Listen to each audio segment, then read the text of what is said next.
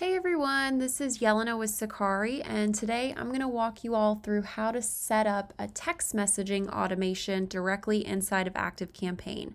Now keep in mind that you want to make sure you have your Sakari and ActiveCampaign integration set up properly, and we actually have a setup guide on our YouTube channel that you can view for help with that. So as you can see, I'm in ActiveCampaign right now, and let's get started on building this automation together.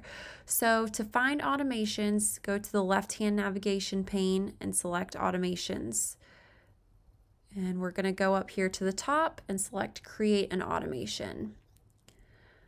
Now, when you click that, what's going to pop up is a lot of pre-populated automation options. You can use Sakari with one of these, let's say, you're a healthcare organization and want to send an appointment reminder, you can do that.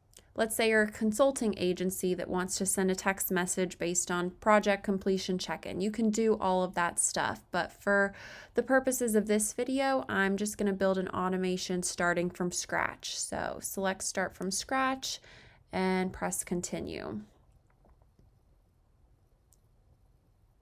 So what's going to pop up here is your start trigger options. These are all the triggers available that will basically trigger the Sakari text message to be sent. So whether that's somebody subscribing to your list or they achieve a certain goal you specify, they abandon their cart and you want to reach out to them via text. There's so many different options here that you can choose from.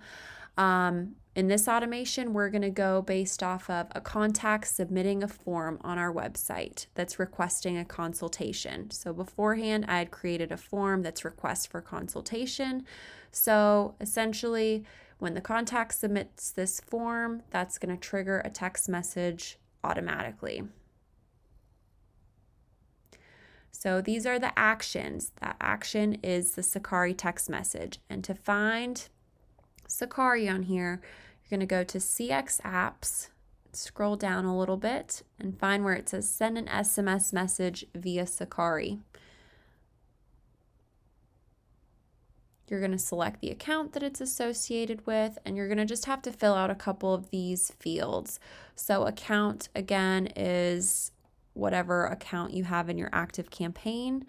For phone number, you just have to make sure you select phone under here and then message will be the text message that you want to send.